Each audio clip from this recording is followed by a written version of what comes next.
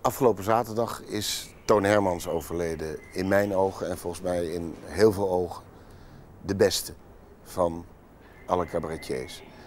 Uh, een voorbeeld voor heel velen, voor mij zeker. Toen ik een klein jongetje was, wilde ik geen cabaretier worden. Ik wilde Toon Hermans worden.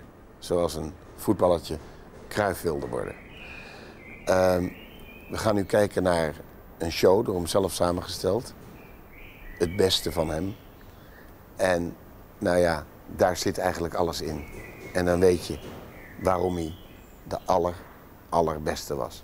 Ik zeg onder een boom met bloesem. Meneer Hermans, dank u wel. Veel plezier.